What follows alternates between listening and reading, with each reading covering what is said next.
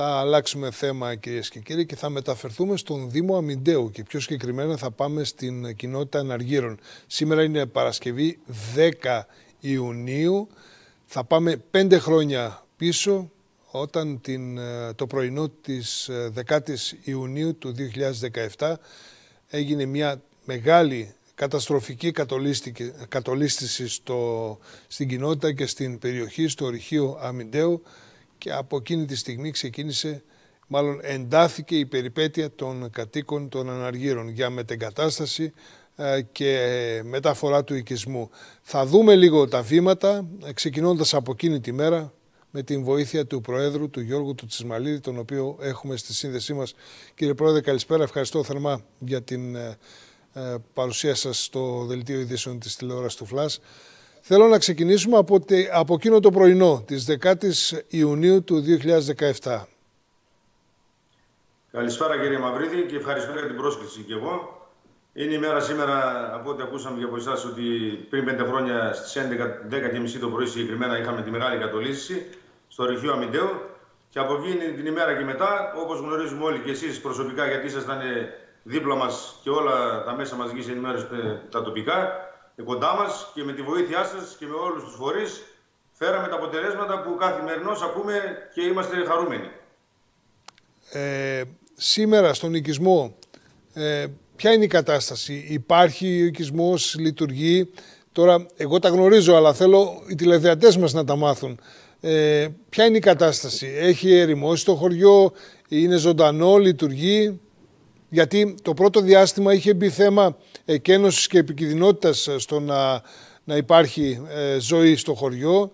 Είχαν γίνει και επιδοτήσεις ενοικίων, μεταφέρθηκαν κάποιοι κάτοικοι ε, επανήλθαν, γύρισαν, συνεχίζουν να είναι μακριά από το χωριό. Πολύ σωστά τα λέτε κύριε Μαυρίδη, γιατί τα γνωρίζετε εσείς πολύ καλά. Ε, αυτό που πρέπει να σας πω είναι, τώρα που μιλάμε σήμερα, είναι αρκετές οικογένειες γυρίσαν πίσω στα σπίτια τους για να καθαρίσουν τους χώρους, γιατί όπως ξέρουμε και από τους Δήμους βγήκαν κάποιες ανακοινώσεις ότι πρέπει να είναι τα σπίτια καθαρά, να μην έχουμε πυρκαγιές και κάτι χειρότερα. Ε, αυτό που σας, που σας λέω είναι ότι το χειμώνα είμαστε γύρω στα 40-50 άτομα, πάντα, και μετά από τον ε, Μάιο και μετά γυρίζουν πίσω οι κάτοικοι και γινόμαστε γύρω στους 100. Αυτή είναι η σημερινή κατάσταση. Βεβαίως το χωριό αριθμεί πολύ περισσότερους, οι οποίοι έχουν φύγει, έτσι δεν είναι; Ε, συγκεκριμένα κύριε Μαυρίδη, είμαστε 590 γεγραμμένοι στους εκλογικούς καταλόγους. Πριν να γίνει μεγάλη κατολίσθηση ήμασταν 300 κάτοικοι μόνιμοι και από την ημέρα που έγινε η κατολίσθηση αυτή είναι, αυτό το νούμερο που σας είπα. Είναι. περισσότεροι δεν έρχονται γιατί είναι στην Τολεμάιδα οι περισσότεροι όπως γνωρίζετε από την επιδότηση ενοικίου που παίρνουν και έρχονται στο χωριό και τα βράδια πηγαίνουν στην Τολεμάιδα. Τώρα, ε, υπήρξε από την πρώτη στιγμή, ε, αρχικά βεβαίως από το 2010 υπάρχει ε, πρόγραμμα μετεγκατάσταση του χωριού. Κάτι για το οποίο ε, μπορεί να πει κανείς πολλά, δεν έχει τρέξει όσο θα έπρεπε. Ε, μετά όμως από την κατολίσθηση υπήρξαν κάποιες διαδικασίες, κάποια βήματα. Ε, πού βρισκόμαστε σήμερα κύριε Πρόεδρε; Κύριε Μαυρίδη, ε, σήμερα βρισκόμαστε ε, πριν μία εβδομάδα, δεν ξέρω αν έχετε ακούσει κι εσείς, βγήκε η απόφαση του δικαστηρίου προσωρινά και σε λίγες ημέρες από ό,τι ξέρουμε περιμένουμε να βγει η απόφαση του δικαστηρίου και επίσημα. Μιλά... Αυτό είναι ένα θετικό... Μιλάμε για την εκτίμηση των περιουσιών. Γι' αυτό μιλάμε. Ακριβώς γι' αυτό. Ήταν το δικαστήριο 22 Σεπτεμβρίου του 2021 και είπαν μέσα σε ένα χρόνο το πολύ θα βγει η απόφαση του δικαστηρίου και αυτό το είδαμε να βγαίνει προχθές. Αυτό είναι πολύ σημαντικό. Έχουμε τέσσερις μήνες δηλαδή πριν βγήκε η απόφαση και είμαστε όλοι χαρούμενοι και θα συνεχίσουμε μετά την απόφαση που θα βγει και επίσημα. Αυτό που πρέπει να σας πω είναι και να γνωρίζουν και οι κάτοικοι ότι οι δικηγόροι του χωριού μετά από την απόφαση που θα βγει επίσημα θα ανακοινώσουν και θα ενημερώσουν τους ε, πελάτες τους ποια είναι τα επόμενα βήματα. Ο κάθε δικηγόρος ξεχωριστά. Τώρα, επειδή λέτε για αποζημιώσεις, μου λέει το κοντρόλο ότι υπάρχει, ε, υπάρχει μια ενόχληση, ένα τηλεφώνημα από μια κάτοικο ε, των αναργύρων που το σπίτι της βρίσκεται κοντά στο ρήγμα, στην, στην, λίγο έξω από το χωριό, η οποία δεν, δεν είναι στο πρόγραμμα, αν το καταλαβαίνω καλά. Τι συμβαίνει με εκείνη την περίπτωση; Εσείς θα την ξέρετε προφανώς. Εγώ κατάλαβα και ποια είναι η κυρία και πολύ σωστά ε, πρέπει να πούμε, αν θέλετε να πούμε και το όνομά της, δεν έχω πρόβλημα. Ε, Εγώ το ας, μην, ας μην το πούμε, δεν έχω την έγκρισή της. Είναι, είναι ναι. κύριε Μαυρίδη, Παρακαλώ. Να, να ξέρετε κι εσείς, άμα μπορείτε να βοηθήσετε κι εσείς την κατάσταση, γιατί έχουμε κάνει πάρα πολλές συναντήσεις. Είναι το σπίτι αυτό της κυρίας μέσα στα 188 στρέμματα που από την πρώτη μέρα που, όπως είπατε πριν, μας δώσανε το λόγο ο κύριος Παλαβόστο, ο Γενικός Διευθυντής Ορυχείων, με ένα έγγραφο που έχουμε στα χέρια μας, ότι θα πάρουν αυτά τα 188 στρέμματα για ε, ζώνη ασφαλείας.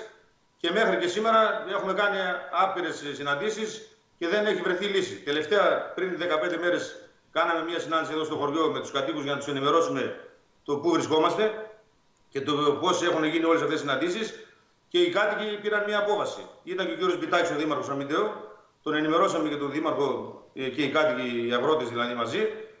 Και τις ε, επόμενες ημέρες είχε μια συνάντηση ο κ. Μπιτάκη με τα στελέχη της ΔΕΗ και το έθεσε το θέμα και είπαν ότι ε, πήρε το δρόμο της η απαλωτρίωση και είναι στο, στείλαν το χαρτί δηλαδή το έγγραφο στον Υπουργό τον κύριο Σκρέκα.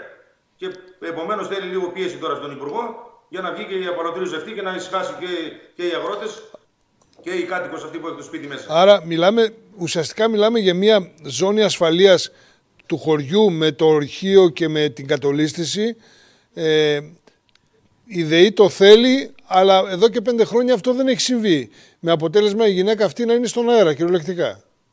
Το σπίτι αυτό, κύριε Μαυρίδη, ήταν εκτός ορίου τη απαλωτρίωση. Ήταν δηλαδή, όπως ξέρετε, γνωρίζετε, έχουμε κάνει ρεπορτάζ, όπως είναι όπω πήγαινε παλιά ο δρόμος για το αρχείο από την αριστερή μεριά.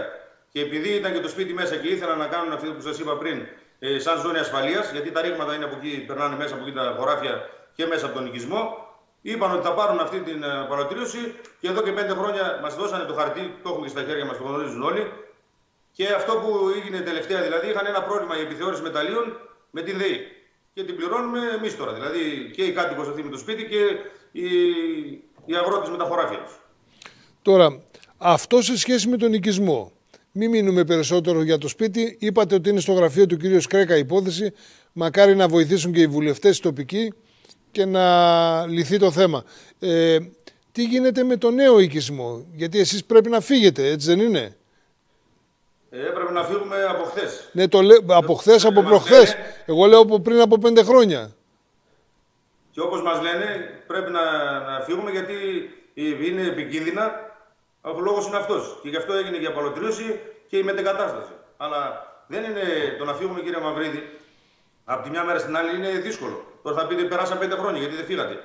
Ε, δεν φύγαμε γιατί οι περισσότεροι αυτοί που μένουν τώρα εδώ πέρα είναι αγρότε, κτηνοτρόφοι και έχουν ε, τα ζώα του εδώ πέρα, τα μηχανήματά του. Καλά, δεν περάσαν. Επί... Επιτρέψτε μου, κύριε Πρόεδρε, ε, δεν περάσαν πέντε χρόνια, περάσαν 12 χρόνια γιατί το 2010 είχε πάρθει απόφαση ε, τόσο οι ανάργυροι όσο και οι ακρινοί να μετεγκατασταθούν. Απλά εσείς λέτε τα χρόνια, τα χρόνια μετά την κατολίστηση που είναι τα πέντε. Αυτό λέω. Μετά που έγιναν όλα επίσημα, γιατί όχι ότι δεν ήταν επίσημο το 2010 αυτό που λέτε, αλλά όπως είπατε και στην αρχή του ρεπορτάζ, αυτό έπρεπε να το δουν κάποιοι νωρίτερα και να, γινόταν, να γινόταν πιο γρήγορα τα πράγματα. Επομένως, εμείς μετά την κατολίση ξεκινήσαμε όλοι μαζί ενωμένοι και κάναμε τις διαδικασίες που έπρεπε και συναντήσεις και ε, υπουργεία και παντού. Τα γνωρίζετε. Και τα αποτελέσματα έρχονται σιγά σιγά. Και πιστεύω και αυτό που σας είπα τώρα για την απαλωτήριωση των γραφείων, πιστεύω ότι τις επόμενες ημέρες θα μας ξανάγετε στο δελτίο σας και θα πούμε τα ευχάριστα. Ε, πού μεταφέρεται ο οικισμός, Την τοποθεσία την έχετε αποφασίσει; Εμείς έχουμε αποφασίσει εδώ και πολλά χρόνια με ψηφοφορία κανονικά και είχε εκεί 75% αν θυμάμαι στο Δήμο Εορδέας στη θέση Κουρί. Ήταν η θέση Αμύντου και η, θέση, οι τελευταίες οι δύο θέση Αμύντου και θέση Κουρί και 75% βγήκε στη θέση Κουρί Εορδέας. Επομένως πηγαίνουμε στο Κουρί Εορδέας και έχουμε να κάνουμε με τον κύριο Πλακετά αρκετές συναντήσεις και να δούμε ποια είναι τα επόμενα βήματα.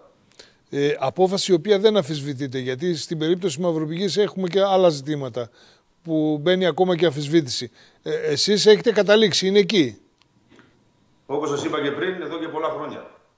Και το γνωρίζουν όλοι οι φορείς, και ο Περιφερειάρχης και οι βουλευτές και έχουμε κάνει και συναντήσεις και τελευταία πριν 4-5 μήνες που ήταν και οι βουλευτές του Κοζάνης, οι τρεις από τους τέσσερις και ο Δήμαρχος του Δημαρχείου Εορδέας και ήταν όλα, όλες οι κοινότητες εμπλητώμενες καλεσμένες και εμείς είπαμε για την κοινότητα τη δικιά μας. Και περιμένουμε, δεν ξέρω αν θέλετε να σας τα πούμε, Περιμένουμε να βγει το προεδρικό διάταγμα που μας είπαν τότε στη συνάντηση και να, υπο, να, υπο, να, να υπογραφεί το ρημοτομικό του νέου οικισμού για να ξεκινήσουν οι διαδικασίες. Τώρα, άμα ένα ρημοτομικό και μια υπογραφή από την κυρία Πρόεδρό μας κάνει τόσο πολλά χρόνια, τι να σας πω. Μένουμε εδώ. Πέντε χρόνια, μας είπατε τα τελευταία νέα, θα επανέλθουμε στο θέμα. Είναι η δουλειά μας άλλωστε και το έχουμε και υποχρέωση απέναντι στους κατοίκους που περιμένουν ε, και να πάρουν τα χρήματά τους από τις αποζημιώσεις και να μεταφερθούν στο νέο οικισμό πριν είναι αργά και πριν ξεχαστεί το θέμα ή, ή δεν υπάρχουν τα χρήματα. Γιατί πολλοί οικισμοί λόγω της μεγάλης καθυστέρησης της μεταφοράς του οικισμού σε κάποιο άλλο μέρος ε, έχουν οι κάτοικοι δαπανίσει τα χρήματά τους αγοράζοντας κάποιο διαμέρισμα ή κάπου αλλού και δεν υπάρχουν χρήματα για να χτίσουν. Κύριε Μαυρίδη, αυτό που πρέπει να σας πω εγώ και αν θέλετε κλείνουμε, είναι τα χρήματα ότι υπάρχουν, τα το ξέρουμε αυτό και από την προηγούμενη Περιφερειακή Αρχή και από τη σημερινή, γιατί έχει συνέχεια το κράτος, το γνωρίζετε, και το πρόγραμμα δημοσίων επενδύσεων βάζει τα λεφτά και αυτό που ξέρουμε και το λέμε και γι' αυτό θα κάνουμε και μια συνάντηση τώρα την επόμενη εβδομάδα με τον Περιφερειάρχη για να δούμε ποια είναι τα επόμενα βήματα και να, να ξέρει ο κόσμος τι θα κάνουμε από εδώ και πέρα. Και επομένως, εγώ πιστεύω ότι τα χρήματα υπάρχουν και θα, θα, θα σας το πούμε και επίσημα τις επόμενες ημέρες. Μακάρι, μακάρι να έχουμε ευχάριστες ειδήσεις. Σας ευχαριστώ πολύ κύριε Πρόεδρε. Και εγώ σας ευχαριστώ. Καλή συνέχεια.